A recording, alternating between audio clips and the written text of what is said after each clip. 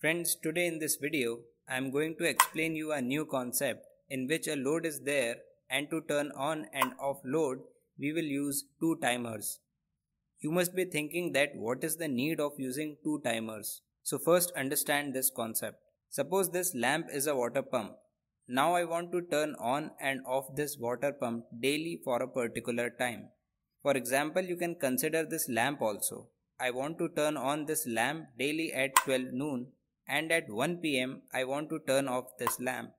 For this, I will use a digital timer so that whatever programming I will do here, according to that, my water pump or this lamp can be turned on or off automatically. Now, apart from programming I done in this timer, I need to turn on the water pump and after a particular time I need to turn off the water pump also. I used another timer here so that this get automatically turned off. As per the time we set in this timer, the water pump will remain on in this time and when time is completed, water pump is automatically turned off. So what is the concept behind making this starter? I hope you understood. Now we are going to understand how to make this starter. I have these two timers which is of CNC company.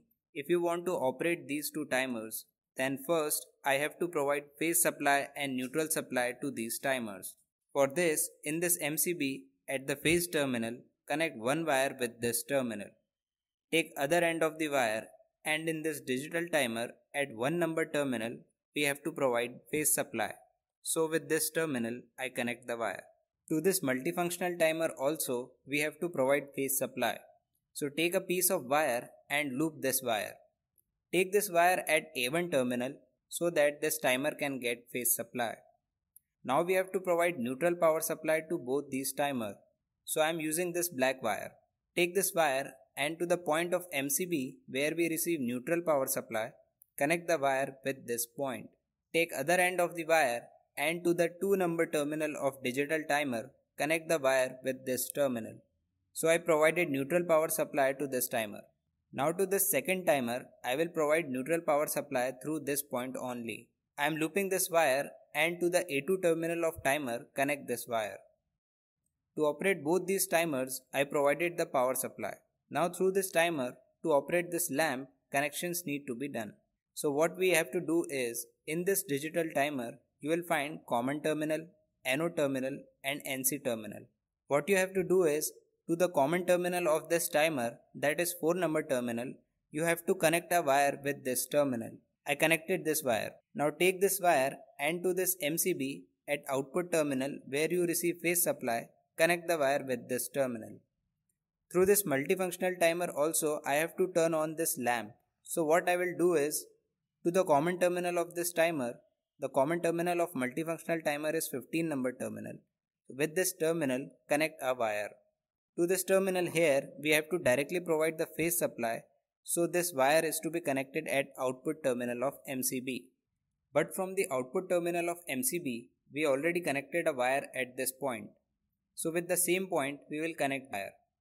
It means to both these common terminals, phase supply is directly supplied. Now when this digital timer is operated, I want this lamp to be turned on, what I will do is to the NO contact of digital timer, connect one wire with the contact, take other end of the wire and to this lamp provide phase supply. To provide phase supply to lamp, I use this red terminal box. Similarly through this timer, I want to turn on this lamp. So to the NO contact of timer, 18 number terminal is of NO contact. With this terminal, I connected one wire. The power supply from this wire will be used to provide phase supply to this lamp. So I connected this wire also with the red terminal in this way. This lamp I have now will not glow only by phase supply. To glow this lamp, I need to provide neutral power supply also.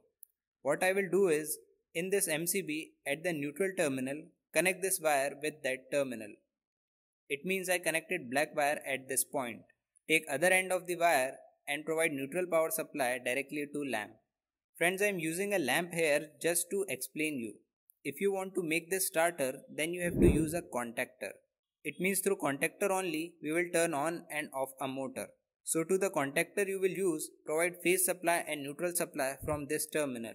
Rest all the connections will be same. After this much connection, through this digital timer, connections to turn on and off the lamp is completed. But in this multifunctional timer, little more connection is left. You have to use a NO push button here. Connect two wires with this push button.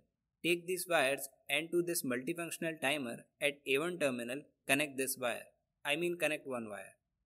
You can see here at A1 terminal I connected one wire. Take this second wire and to this S terminal here connect this wire. This means to turn on this timer I used this trigger push button. So all the connections to make this starter is now completed.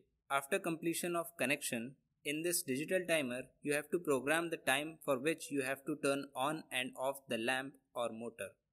Apart from this, the multifunctional timer I have, I selected this at F position. This means this timer will be used as single shot timer. I programmed the time as 5 seconds in this timer. What will happen is when I turn on the MCB, after turning on MCB in this timer, when the time which I programmed is completed, then through the timer this lamp will be turned on. Right now I am showing you manually how it turned on. But the time you perform in this timer, after taking that much time, load will be turned on automatically. And the time you program after which load is turned off, taking that much time, this timer will turn off the load.